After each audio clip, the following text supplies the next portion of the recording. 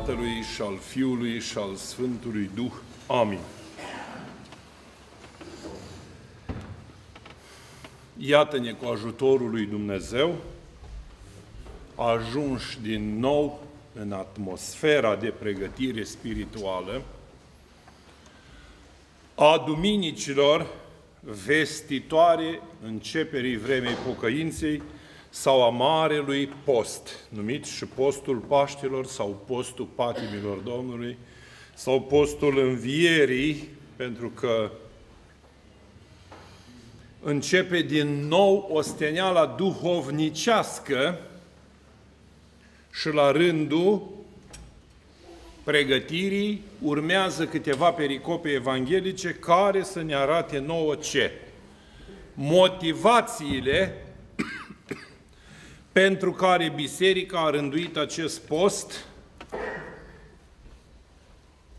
care este un post de o vârstă cu Adam. În ziua în care vei mânca, vei muri. Nu de oriunde, din pomul cunoștinței binelui și răului.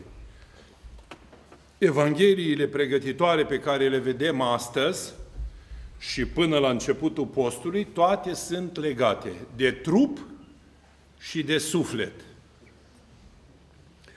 Prima, vameșul și fariseu.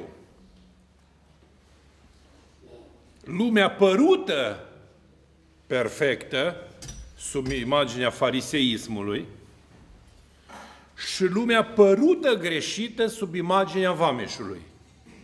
Pentru că vom vedea că deopotrivă tronează atât părerea de sine, cât și starea de păcătoșenie, numai că pe viclean urăște Domnul, iar cel ce se va smeri se va înălța, spune Evanghelia de astăzi.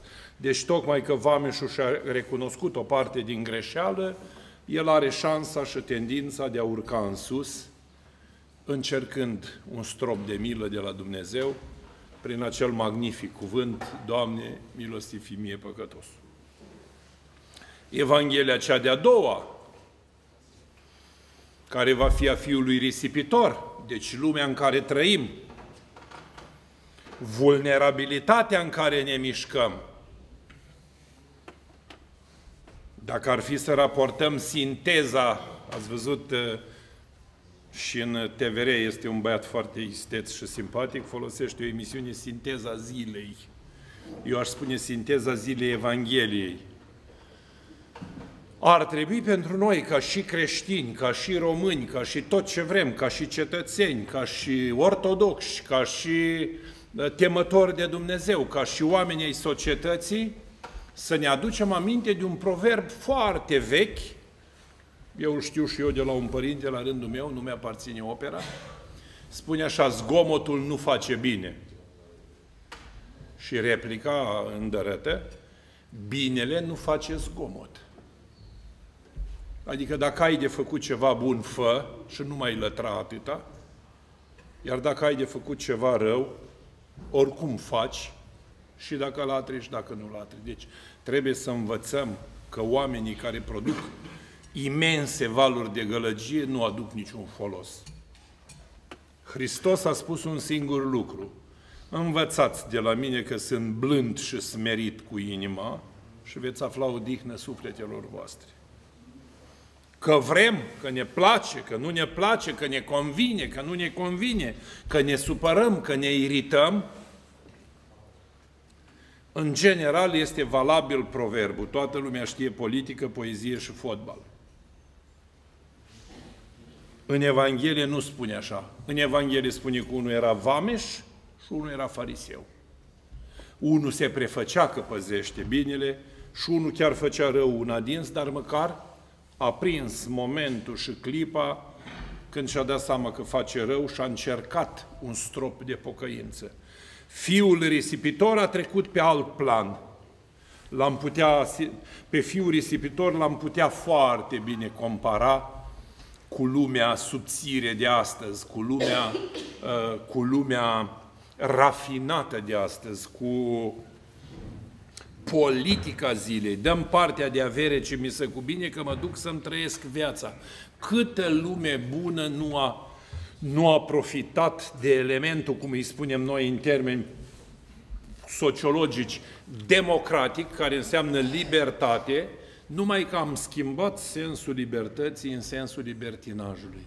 Una este să fii liber, să poți crea, să poți gândi, să poți scrie, să poți concepe, să poți inova. Și alta este să transform libertatea în libertinaj, când Sfântul Apostol Pavel vine și îl stăpânește elementul democratic și spune așa, toate îmi sunt îngăduite, dar nu și toate îmi folosesc. Deci aici trebuie Duhul discernerii, de unde deducem că ceea ce vedem în jurul nostru nu este cu discernere, ci este fără discernere. Un om care este înțelept, un om care este înțelept, folosește mai mult discernerea. Iisus Hristos a folosit discernerea. Și cum a folosit discernerea? Într-un mod cu totul elevat. Au venit la el mai mari, conducătorii vremii, și i-au zis așa, trebuie să plătim dajdea cezarului sau să nu o plătim? Iisus a cerut un ban, le-a arătat inscripția, a întrebat a cui este banul și atunci le-a spus tuturor care erau de față, dați-i lui Dumnezeu ce este al lui Dumnezeu și dați-i cezarului ce este al cezarului. Adică trebuie să te supui de o potrivă și lui Dumnezeu și conștiinței, dar trebuie să te supui de o potrivă și normei etice, morale din societate, chiar dacă n-ai treabă cu biserica. Pentru că unii spun așa, nu, domnule, eu n-am treabă cu biserica. Foarte bine. Arată-mi o lege din societate care îți permite să ucizi, să omori, să furi, să dai în cap, să faci rău. Deci, între norma etică, socială și norma etică, moral, spirituală este o singură diferență. Una e civică și una e spirituală. Deci nu putem vorbi de un fiu risipitor din cadrul bisericii, pentru că sunt și fii risipitori ai bisericii. Dacă întreabă cineva ce înseamnă un fiu risipitor al bisericii, vă spun eu, un călugăr dezordonat, un preot dezordonat, un creștin dezordonat, un monah dezordonat, o monahie dezordonată, în momentul când ți-ai refuzat votul, ți-ai refuzat chemarea, ți-ai refuzat ascultarea, porunca și disciplina la care ai fost chemat, ești în afara votului moralei creștine. Deci ești un fiu risipitor spiritual. Ai pierdut pe Duhul Sfânt, te-ai depărtat de Dumnezeu și pici sub cele trei incidențe. Mustrarea bisericii, afurisania bisericii sau anatema bisericii, conform canoanilor în societate, pici sub incidența contravenției, întâi plătești amenda, sub, contra, sub incidența infracțiunii poți face pușcăria și sub influența, dacă vreți, paria, ca să spun așa într-un fel în societate, când, cum spune aia, zice, ăsta trebuie condamnat pe viață. Ei, aceștia sunt fii, fii risipitori ai societății. Dar nu asta e ținta Evangheliei, ci Evanghelia vrea să ne arate că și căderea lui Adam din rai și neascultarea lui de Dumnezeu l-a transformat de o potrivă în fiu risipitor atât al moralei sociale cât și al moralei spirituale. Din ce cauză? Prin căderea lui Adam, tot neamul creștinesc s-a ales cu o cădere în jos, în patim grosolane, din ceresc în pământesc și s-a distrus firea luminată și desăvârșită a omului, care trebuia să fie asemenea chipului și asemănării, cum spune atunci Sfânta Treime când l-a creat, să-l facem pe om după chipul și asemănarea noastră, dar l-a decăzut și moral, dacă ne întoarcem în istorie, dacă ne întoarcem în istorie, că noi avem tendința sau trăim tendința întotdeauna de a compara veacurile. Toate veacurile au avut lichelele lor. Să nu aveți impresia vreodată că bietul Eminescu, când a scris acele scrisori, nu vedea mizeriile și nu vedea ticăloșiile de la ușa societății. Deci, astea au existat din totdeauna. Au fost trădători și în vremea lui Traian și a lui Decebal, au fost trădători și în vremea lui Lăpușneanu și a lui Ștefan cel Mare, și a lui Vlad Sepe, și a lui Mircea cel Bătrân, și a lui Alexandru cel Bun. Adică să nu credeți că a fost o vreme când uh, lumea a fost perfectă și o să spuneți, e, viacurile de aur a creștinismului. Viacurile de aur ale creștinismului au fost scăldate în sânge, în sânge, și dacă ar fi să păstrăm noi cu mentalitatea de astăzi credința primilor trei veacuri, n-ar mai exista creștinism pe pământ. Dacă ea se duceau să moară pentru Hristos, noi nu suntem în stare să murim măcar pentru păstrarea unui element principal, familia. Deci mai ușor îți este să dai divorț și să te duci să împarți un bloc în două decât să vă suportați unul pe altul în creșterea copiilor. Și tu vorbești de patriotism sau vorbești de perfecțiune. De ce am amintit lucrul ăsta? Deci, căderea de la fața lui Dumnezeu duce și de la fața moralei. Morala este un rezultat al icoanei lui Dumnezeu. Ori de câte ori te afli în fața unei icoane, indiferent de structura sufletească a fiecărui om, indiferent de starea sufletească a oricărui om, indiferent de starea duhovnicească a fiecărui om, când te vezi în, ca, în fața unei icoane sau, să spunem, într-o biserică veche sau vezi o cruce sau vezi ceva de patrimoniu spiritual, pentru un moment ai o stare incognito, adică ești într-un moment de stand-by, ai o atitudine oarecum uh, nestăpânitoare de sine. Dacă ești credincios, săruți icoana sau faci o cruce, dacă ești mai puțin credincios, te gândești poate la o slăbiciune a ta și Doamne iartă-mă, dacă ești ateu, treci, dar treci cu oarecare formă de respect, pentru că e frământarea din capul tău, nu știi, merită să respecti, să nu respecti, sau poate încă este antagonismul ăla din mintea ta care te face să zici, ce ori mai fi pus și proști ăștia crucea asta aici și icoana asta aici, dar totuși eu icoană nu dau cu pietre în ea, trec mai departe. Deci, tocmai prezența acestei stări de facto te face să rămâi om. Ei, căderea de la starea de, la starea de Dumnezeu la starea de păcat te face să iei toate atitudinile așa cum au fost și altă dată elemente, ca să spunem, mai huliganice ateiste, dărâmarea unei biserici, incendierea unei biserici, uciderea creștinilor în primele veacuri și așa mai departe. După aceea, după ce trecem de fiul risipitor, care este tot o Evanghelia Pământului, ca și Vameșul și Fariseu, trecem la două Evanghelii de sorginte spirituală. Prima, dacă o luăm cea de jos, a vameșului și fariseului, vedem că este Evanghelia trupului. Omul s-a dus în biserică, a ascultat slujba, l-a fi copleșit cuvântul lui Dumnezeu și a încercat să se întoarcă mai folosit la casa sa. La fiul risipitor vorbim tot de Evanghelie pământească, dar de domeniu sufletesc, pentru că miezul Evangheliei ne afirmă ceva ce nu găsim oriunde – Spune așa miezul Evangheliei. Și revenindu-și în sine, de sinele nu-i ceva care se vede, e ceva din interior, a zis așa, mă voi scula și mă voi duce la tatăl meu și voi spune că am greșit.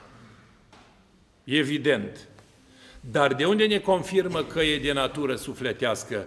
Adâncimea până unde merge fiul risipitor, în pătrunderea interioară a sinelui. Argații tatălui meu mănâncă pâine și eu pierd de foame. Vorbind de pâinea cea vie, nici într-un caz, vorbind de abatorul cu slănină și de alimentarea care vin de șapte feluri de pâine de panificație. Era vorba de pâinea lui Dumnezeu. Trecând la celelalte evanghelii de sorginte strict spirituală, tot pregătitoare înaintea Marului Post, izgonirea lui Adam din Rai, se va chema una din duminici și una din Evanghelii, vom vedea cât de esențială este smerenia și ascultarea la fața lui Dumnezeu, de aceea și Apostolul Pavel ne-l certifică pe Hristos într-un element cu totul primordial. Și spune așa, Hristos, n-am venit să fac voia mea, ci voia Tatălui meu care m-a trimis scurt. Iarăși, un element prin care Hristos ne arată că prezența Lui în lume nu-i de a fi împărat pământesc și de a elibera pe iudei de romani. Împărăția mea nu-i din lumea aceasta. Scurt. Și iarăși un element în care ne arată Hristos că Evanghelia este de sorginte sufletească, nu este mia da stânga și dreapta, ci cu este rânduit. Deci la izgonirea lui Adam din Rai, îl avem pe Hristos prezent în pomul vieții, Euharistia veșnică, care e de o ființă cu Tatăl mai înainte de toți vecii, și vorbim de omul Adam, cel din tâi cu suflet viu, care căzut de la fața lui Dumnezeu, se transformă într-un om pământesc plin de păcate. Luați Sfânta Scriptură, nu o citi pentru credință, nu, nu vă recomand sub forma asta, că nu o să o înțelegeți, citiți-o pentru cultură generală și istorie. Puneți-o în paralel cu Ovidiu Drâmba, istoria culturii și civilizațiilor și priviți Sfânta Scriptură din perspectiva științifică, geografică, istorică, informativă, cronologică și faptică a evenimentelor pământești petrecute pe pământ. Găsiți-le echivalentul în istoria culturii și civilizațiilor lui Ovidiu Drâmba. Și veți vedea acolo cam ce nenorocire a putut crea omul de când există el pe pământ și câte lucruri păguboase a făcut El pentru această mică planetă simpatică pe care Dumnezeu ne-a dat-o să trăim în ea și culmea mirării și a, chiar folosesc un termen, inexplicabil, cum de atâtea mii de ani de când suntem pe pământ, Dumnezeu, prin, noi prin distrugere și Dumnezeu prin dragoste și conservare și creație și pronie și acoperire, a păstrat totuși acest pământ cu izvoare curate, cu hrană curată, cu păsări frumoase, cu pești de tot felul, cu animale de tot felul, ca totuși acest animal în Dumnezeu, omul, cum îi spune Panaiot Nela, să aibă acces la viziunea dumnezească prin zidiri, cerul spun slava Dumnezeu, facerea mâinilor lui o vestește tăria și totuși omul distruge în continuare cu o, furie, cu o furie și cu o forță nestăpânită. Deci, omul continuă să distrugă planeta cu o forță nestăpânită. De ce oare? Și totuși Dumnezeu i-a spus, mergi în sudoarea feții să-ți câștigi pâinea, că nu ești apă să trăiești spiritual, hrănit de îngeri. Dar caută deopotrivă și pâinea cea de toate zilele, că unii nu înțeleg sensul rugăciunii din Tatăl nostru. Cum să spune Părinte corect? Pâinea cea de toate zilele sau pâinea cea spre ființă? Și așa, și așa. Pâinea cea de toate zilele e grâu de pe ogor și pâinea cea spre ființă e hrana spirituală, Euharistia, că omul nu va trăi numai cu pâine, ci și cu tot cuvântul Dumnezeu. Și iată-l pe Adam trăind cu cuvântul dracului, nu al lui Dumnezeu. A zis Dumnezeu că dacă mâncați, muriți o prostie. Vreți să nu fiți ca El. Și a mâncat Adam și Eva și au căzut de la fața lui Dumnezeu. Iată-i astăzi pe planeta Pământ făcând uh, revoltă. Și o altă evanghelie spirituală mai adâncă decât aceasta, care e de sorginte sufletească, pentru că Adam n-a murit cu trupul, a murit cu sufletul, dar a primit pentru păcatul lui și moartea în trup, că a spus că în ziua în care vei mânca vei muri, și totuși Adam a trăit 980 de ani, dar totuși a murit, și noi murim și noi astăzi, ce este interesant dacă ar fi să facem o, dacă ar fi să facem o terapie a momentului, ne-am gândit așa, decât să faci cercetări pentru cursa înarmărilor, decât să faci cercetări pentru căutat prin spațiu cosmic, aiurea gândaci uh, extraterestri, decât să cheltui bani pe arme nucleare, decât să cheltui bani pe virus. De ce n-ai face o, de ce n-ai face o cercetare prin care să ajungi la Dumnezeu? În ce? În tinerețe fără bătrânețe și viață fără de moarte. Dacă totuși iubim atât de mult viața, ce spune? Plata păcatului este moartea. Deci ce ne este mai ușor? Să inventăm medicamente de trăit sau să, să căutăm medicamentul de a nu mai păcătui? Că dacă nu păcătuiești, ești viu. Era Sfântul Sisoie cel Mare, vă amintesc încă o dată, că cred că am mai spus-o, și îi spunea dracii, ce te rogi, bă, că ești sfânt? Nu, sunt sfânt. Și că oricum, am, oricum te-am scăpat și ai scăpat de noi. Nu, nu, nu. Până văd sufletul meu în brațele lui Hristos, încă mai cer de la Dumnezeu o clipă de pocăință. Și să ruga să vină clipa aceea. Aș vrea să văd un om din toată societatea noastră care zice, Doamne, ajută-mă să mor azi. Nu cred că există. De ce? Pentru că orice om își dorește viața. De ce își dorește viața? Pentru că nu e un moft. Viața este un dar divin. Oricine își dorește să fie viu, oricine își dorește să existe, oricine își dorește să trăiască și să se bucure. Dar depinde cum trăiești, trebuie să învățăm, deci nouă ne lipsește, nouă ne lipsește cea mai uh, autentică lecție de viață, modul de a trăi frumos. Noi ne-am săturat de a trăi frumos. Deci, în societate ne place să ne împușcăm și o să spun, nu e adevărat, părinte. Nu e adevărat? E foarte adevărat. De ce când vine câte un nebun de la psihopat și pune o bombă într-un oraș și mor 50-70 de oameni, să alertează toată planeta și fac meetinguri și ședințe și congrese și să stârpim uh, ăștia extraterestri ăștia sau cum islamiști ăștia sau ce sunt ei? De ce? Că te sperii de moarte, da? Dacă stai la televizor și vrei numai filme cu James Bond care omoară și împușcă șapte ore într-una, 15 ore într-una, atunci îți place, nu? E clar că iubești sadismul, e clar că iubești misoginismul, e clar că iubești sângele, ura, teroarea, e clar că iubești să vezi moartea cum colăcă în valuri de sânge. Da, să nu fii tu acolo. Deci moartea nu e o peliculă cinematografică, moartea e o realitate.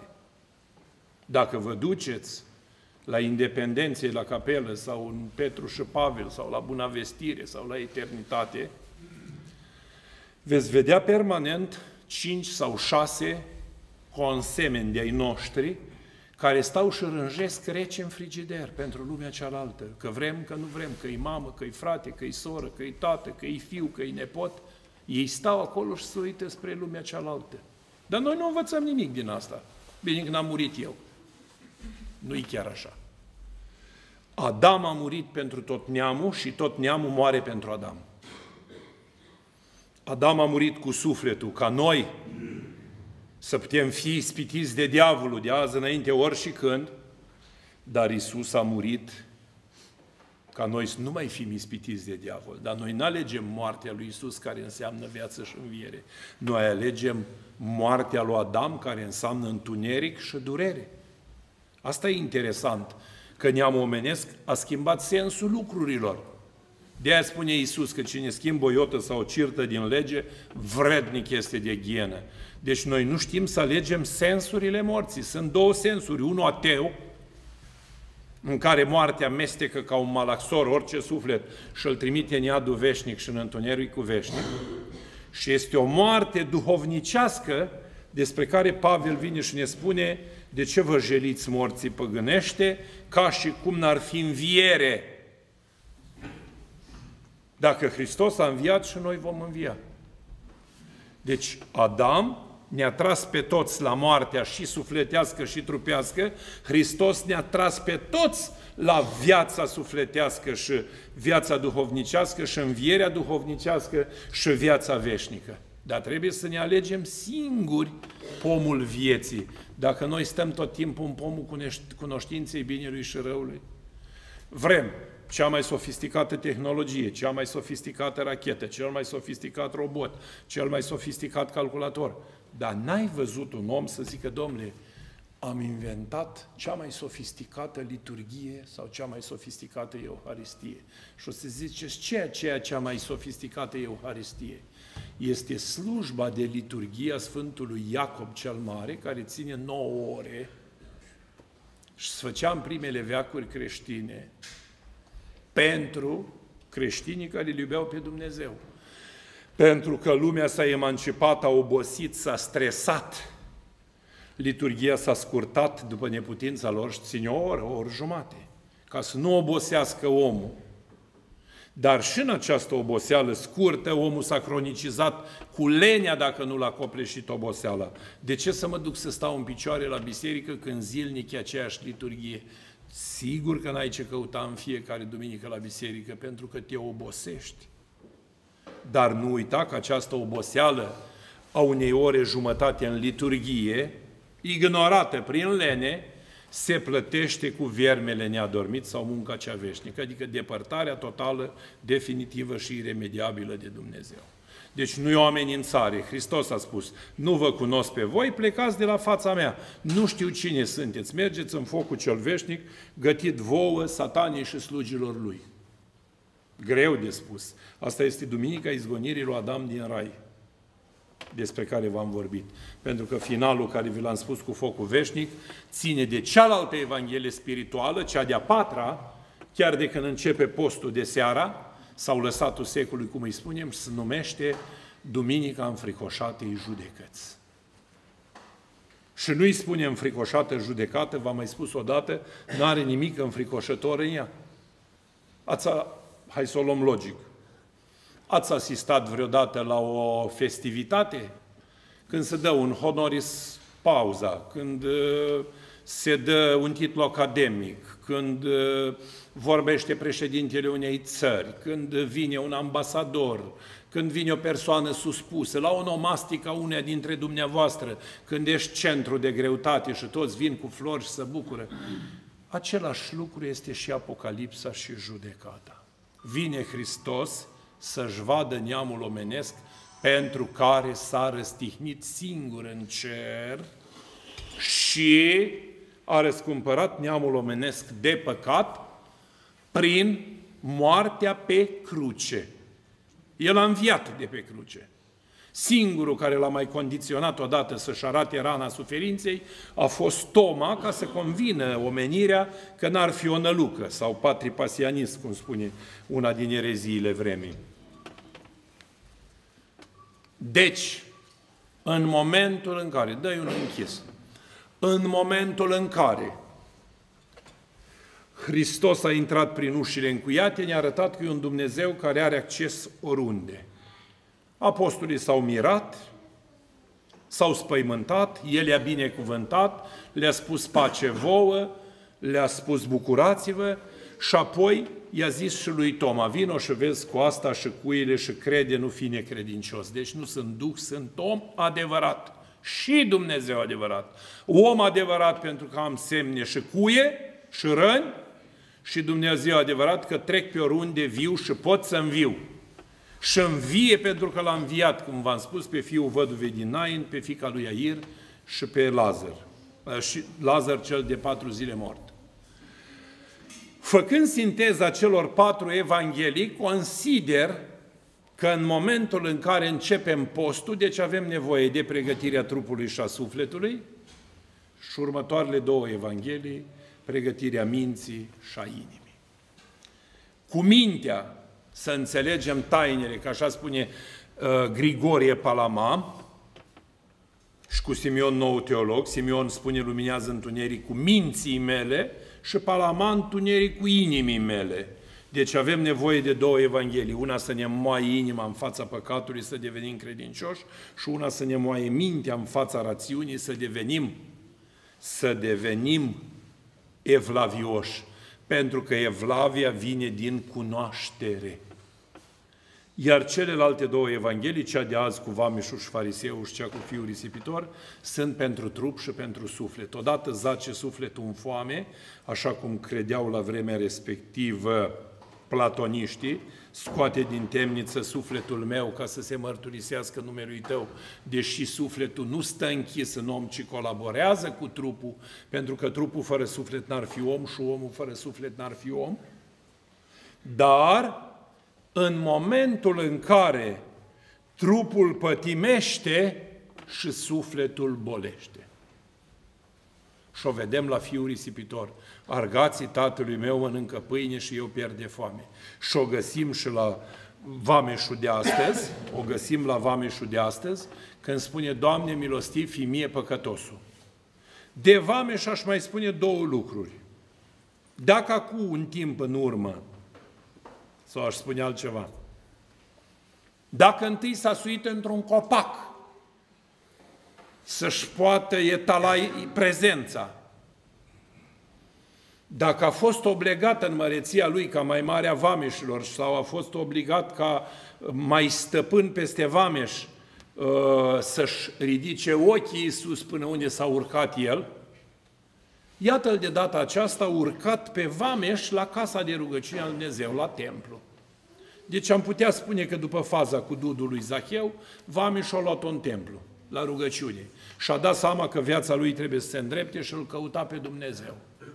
Și acum ne vom întoarce strict la părerea evanghelică de astăzi. Eu v-am băgat prin toate patru ca să aveți o idee că am auzit toate felurile de interpretări, care de care mai frumoase, dar niciuna în viziunea lui Maxim Movici Ioan, marele episcop de Shanghai, niciuna în viziunea Sfântului Ioan Gură de Aur, care este un mare exeget și tălcuitor a Scripturii, și niciuna în Duhul Evangheliei în sensul că pe mine nu mă interesează și o să vedem și astăzi de ce era vameșul bogat. E treaba lui de ce avea bani. Și nici nu-i treaba mea de ce are cineva de aici din biserică bani și ce faci cu ei. Dumnezeu l-a creat pe om și nu banii. Banii a creat omul. Ca și cum dracu a creat păcatul și păcatul a creat moartea. Deci ca să avem distinția a ceea ce vorbim. Doi oameni s-au suit la templu să se roage și îmi pare foarte bine că Sfântul Evanghelist Luca a folosit termenul de oameni. Ce înseamnă cuvântul om? Înseamnă ființă rațională vie, creată de Dumnezeu, care obligatoriu are suflet rațional, viu, inteligibil și cuvântător. Deci scurt. Deci sunt oameni creați după chipul și asemănarea lui Dumnezeu. Mersul la templu și bine că s-a suit, deci rugăciunea te înalță, nu trebuie mai mult vorbit, să se roage. Să facem numai în două minute apologia rugăciunii. Împărăteasa tuturor faptelor bune. Punte între cer și pământ. Punte între inimă și Dumnezeu timp între suflet și Dumnezeu. Și o să spuneți, de ce timp între suflet și Dumnezeu? Cât ai spus, Doamne, miluiește, Iisus Hristos este în sufletul tău. Deci clipa. De aia Marele Arsenie Papacioc, de la Constanța, Arhimandritul, spunea așa, o lacrimă e o rugăciune și o clipă de pocăință e o veșnicie. Deci dacă vrei să furi cu adevărat ortodoxia mântuirea și sufletul să-l mântuiești, trebuie să ai o clipă de rugăciune. Și dacă ați fost foarte atenți, eu când am început am spus așa, că Sisoie spunea așa, mai am nevoie de o clipă de pocăință. Deci, dezvoltând problema clipei de pocăință, mă voi duce la psalmistul David, și vă voi spune ceea ce spune Duhul Sfânt. O mie de ani înainte ochilor tăi, Doamne, sunt ca ziua de ieri și ca straja nopții. Deci iată cum fuge timpul în Universul Dumnezeu. Ducându-te la Marle Eminescu și cercetându-i lui scrisoarea aia cea mai filozofică, care mi-e și cea mai dragă, înainte și înapoi, întuneric, se arată, viața noastră e o lume suspendată, o clipă așa spune. Pentru că noi nu știm ce e înainte de veșnicie și ce e după veșnicie. Nimeni nu va putea vreodată explica ce este mâine, că noi nu știm întotdeauna dacă pentru fiecare din noi mâine este trecut în calendar. Dar nici nu poate cineva să spună ce este ieri, pentru că n-ai fost tu ieri să știi ce fac cei care nu sunt astăzi. Ați înțeles? Tu știi ce a fost marți sau luni sau joi, dar nu știi ce a fost ieri. Ieri sunt la cimitir, astăzi sunt de față. Și, cum spune Hristos, Astăzi, dacă auziți glasul lui Dumnezeu, să nu învârtoșați inimile voastre. Astăzi, Sfântul Vasile cel Mare are o expresie excepțională legată de rugăciune. M-am învățat cu cuvântul ăsta excepțional, că parcă spune mai mult, deși nu e un cuvânt bisericesc, dar nici magnific, parcă e prea grozav. Uh, cel ce ți-a dat dimineața nu ți-a promis că îți dă seara. Iar cel ce ți-a dat seara nu ți-a promis că vei prinde dimineața. Vedeți ce filozofie? Și filozofia se încadrează într-un element mult mai simplu, tot paterical și scris prin uh, cu, cugetările astea filozofice frumoase, patericale. Să muncești ca și cum ai trăi o mie de ani, deci, vedeți, încă o dată, repet, cultul muncii, averea, bogăția, strânsul, să muncești ca și cum ai trăi o mie de ani, deci nu trebuie să fii povara nimănui, dar să te rogi cum ai muri mâine. Vedeți ce interesant? Și atunci, dacă tu dormi pe un sac de bani, dar te rogi ca și cum ai muri mâine, să ferm convins că menajera ta nu moare de foame, să ferm convins că paznicul de la poarta ta nu moare de foame, câinele ăla de la poartă care lingea bubele lui Lazar primește și el o pâine, cerșătorul ăla care a întins mâna primește un biscuite sau o pâine, deci tu ești om, cu tot cu avere. Pentru că nu banii te scot din rai. În Evanghelie este o ex- expresie care depășește definiția. Grija vieții m-a scos din rai. Ce înseamnă grija vieții? o viață trăită altfel decât viața. Și unde o găsim sintetizată? Bogații au sărăcit și au flămânzit. Iar cei ce îl caută pe Domnul, vii vor fi inimilor în veacul veacului. Adică cum, domnule, cei ce uh, cei bogați au sărăcit? Păi au sărăcit, mă, fraților. Dacă au un milion de euro, vor 2 milioane de euro. Dacă au 2 milioane, vor 60 milioane. Dacă au 60 milioane, vor 100 de milioane. Dacă au 100 de milioane, vor 900 de milioane. Și tot așa. Deci ei vor încerca în mod psihopat sau bolnav, să aduni un lucru nefolositor. Ce tendință ai să faci cu, cu lucrul ăsta când l-ai adunat? Îți spune Evanghelia, să-l ascunzi, să-l lăcătuiești, să-l tăinuiești, să-l păzești, să-l protejezi, să nu fie furat de o rugină, de un fur, de o moleș, de un tâlhar. Dar Isus, ca să nu greșească și să ne arate că nu are nimic cu cele pământești, a spus așa – îi bine pentru cei ce se îmbogățesc. Chiar așa spune Evanghelia. Dar să se îmbogățească și în Dumnezeu, unde furul nu fură, molia nu mănâncă și tălharul nu părăduiește și rugina nu roade. Deci ceea ce înseamnă că de o potrivă, dacă muncesc cât unul într-o mie de ani, într-o zi, ca și cum n-aș muri, așa, înseamnă că pot să mă și rog, Dumnezeu l-a sunat pe cineva să vadă că e prezent la biserică. Și dacă mă rog ca și cum aș muri mâine, am și tendința de a fi bun, pentru că orice om într-o, într-un eveniment foarte, uh, într-o sărbătoare, uh, este bon om. La nuntă, dai de mâncat și de băut la toți la mormântare, dai de mâncat și de băut la toți, la botez, dai de mâncare și de băut la toți, la haram, dai de mâncare, de băut la toți, la onomastică, ești bonom, servești pe toți. Așa ești și atunci când ai ști că trebuie să pleci. De ce? Pentru că vrei să fii pregătit. Deci, asta înseamnă că ei s-au suit să se roage. Deci s-au suit prin rugăciune să atingă miezul rugăciunii.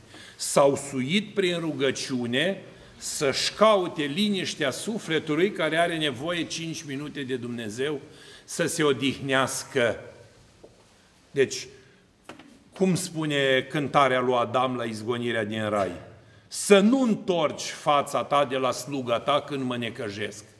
Ia aminte spre sufletul meu și îl mântuiește pe el. E un prochimen care se cântă. Acum îi specifică, unul fariseu și unul vameș. Eu m-am oprit la început în fugă și n-am intrat pe detailate. Fariseii erau o categorie de oameni ai Vechiului Testament care ce făceau? Știau și legea, ă, păstrau și legea, o împlineau faptic, la vedere, la auz, se rugau în piață, își smoleau fața când posteau, făceau toate lucrurile astea pământești de reclamă. Slavă Domnului! Și astăzi facem lucruri de reclamă. Nu mai fost mă punga aia acolo. Deci, și astăzi facem lucruri de reclamă. Faci un parastas cu o pâine, cu o prescurică, cu un vin și cu câteva pachete și îl faci de 10 ori pe an și ți-ai pomenit morții și aceeași virtute. Dar faci un parastas din ăla pentru tot satul cu băutură, cu mâncare, cu chemare, cu strigare, cu îmbătare, cu ceartă, cu scandal, cu mofturi, cu comentarii, au mâncat 500 de oameni și nu s-a folosit nimeni. De ce? Că nu l-ai chemat pe ăla, că l-ai jignit pe ăla, că aia a fost acră, că aia a fost dulce. Pentru că ce? Dumnezeu nu vrea reclamă. Spune așa, când dai dăs, nu mai primești înapoi niciodată. Când faci ceva, fă ca să iei plata din cer și nu de pe pământ. Fă nascuns să nu știe stânga sau dreapta și tot așa. Deci tot ce este modest în biserică, lui Dumnezeu îi place. Atâta tot, scurt. Deci am clarificat ce înseamnă îngânfarea asta, fariseismul. Și Mântuitorul le spune și la ăștia două lucruri. Trei le spune. Cele mai importante, că așa i-a mustrat dacă luăm Evanghelia la Matei pe la capitolul 16, spurcă în vreo două pagini, de sus până jos, în tot felul. N-au obraz să mai iasă în față. Le spune așa, morminte văruite, adică oameni falși. Văruiți și spoiți pe din afară, dar plini de putoarea păcatului înăuntru vostru. Iarăși, farisei fățarnici care vă rugați prin piețe ca lumea să vă laude și să vă cinstească, voi care mâncați casa văduvelor, auziți cu câtă înțelepciune ei și predau legea, deci cu atenție, voi care vă smoliți fețele când postiți, și ce spune Evanghelia? Spală ca fața ta și unge capul tău să nu știe nimeni când te rogi, ca nascuns să-ți primești plata. Și iarăși spune voi care ați ucis pe proroci și le-ați zidit mormintele cu pietre și spui, vai, părinții noștri au spus. Mântuitorul îi ceartă în halul ăsta. Același lucru ni se potrivește nouă de minune. Ai spune că parcă e raportată din Vechiul Testament câteodată pentru Noul Testament. Cine e omul cel mai de bază? Omul credincios. Cine e omul cel mai respectat? Preotul. Cine e omul cel mai luat în seamă? E Vlaviosul, vai, dar doamna cu tare postește, vai, dar doamna cu tare să roagă, vai, dar e Vlaviosul, vai, dar părintele cu tare, nimeni nu-i ca el. Și ște mândrești fără să vrei.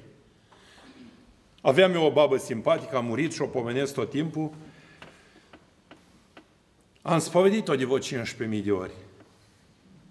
Dar fie, de fiecare dată spovedania ei săracă începe așa. Ei, nu-i bine să te lauzi, dar fie primit, am făcut și aia, și aia, și aia. Întâi mi-a explicat tot ce a făcut de-a lungul vieții și apoi îmi spunea două păcate, că se ceartă cu norța și nu se înțelege cu bărbatul că bea. Ei, și îi spuneam, zic, lasă bunică că îi primit damă o rugăminte, să nu mai spui la nimica, să nu spui la nimeni nimic din ce mi-ai spus mie. Și mă întâlneam cu altă prietenă de-a ei care când venea la spovedit, Părinte, mă iertați, eu nu pot să fiu ca cu tare, eu n-am dat